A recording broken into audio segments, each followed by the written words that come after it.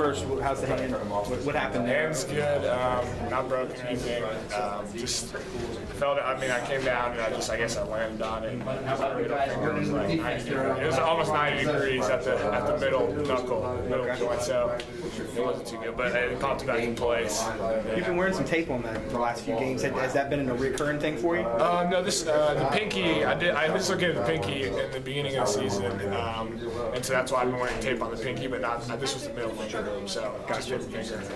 So I'm gonna have tape on this one too. How big was it hit those two shots and getting the flow of the offense like that in the second half? It was good. I thought um, you know offense weren't we were kind of I don't know we just weren't flowing really well, and um, you know I got some I got two open looks and I just kind of shot with confidence, and uh, I mean I think it was I think it helped the offense, but I think it you know it, it got the crowd going, which helps and things like that. So it was, it was good.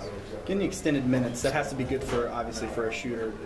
You still have moments I think where you sometimes you pass a shot and then you have a look on your face like you, kind of regret passing up that shot. How, how long do you think it'll take before you just kind of feel feel comfortable just going ahead? And, know. I think um, you know. I think it's. all- I think I'm. I'm feeling. I'm feeling really comfortable out there. Um, it definitely helps when you know you're getting in the flow of things. You're touching the ball. You're kind of bringing it up and passing around like that. Um, get a get a sweat going. But you know, just trying to you know, like when Anthony passed the ball, I just was caught off guard a little bit because uh, um, I, I just I just caught, got caught off guard. But I mean, I think I'm at the position where you know I'm comfortable taking shots. Um, I'm still trying to feel my way through the through the offense as a guard. Just trying to you know because I, I was playing post the whole season until like two weeks ago. So.